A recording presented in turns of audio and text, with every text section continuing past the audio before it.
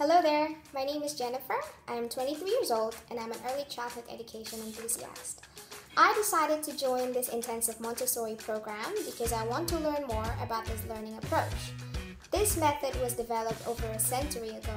There must be a reason why it still remains relevant and I want to be a part of that. Over the course of one week, I have learned many things about Montessori. Their philosophy, their background, even the legendary woman behind this learning approach, Maria Montessori.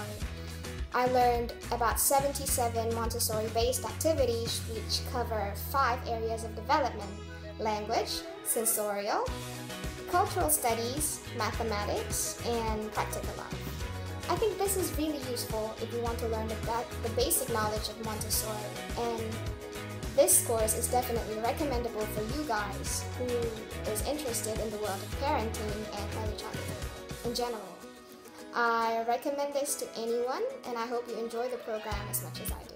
Bye!